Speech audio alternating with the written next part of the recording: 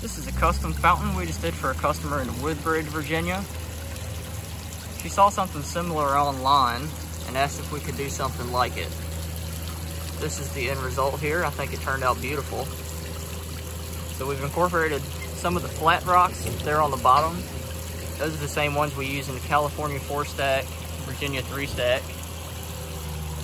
That big rock on top is actually the cliff rock fountain that we offer. See they did get the three disc lights in the top and also the up lights around the outside. I think that really adds a lot to it, especially at night. I'll come in close here so you can get an idea of the sound. It does have a really pleasant sound to it. These rocks also have some nice cliff faces.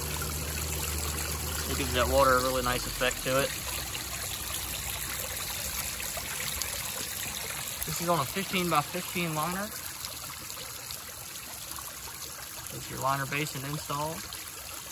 If this is something you'd be interested in, just give us a call or email. You can reach us at 540-948-2239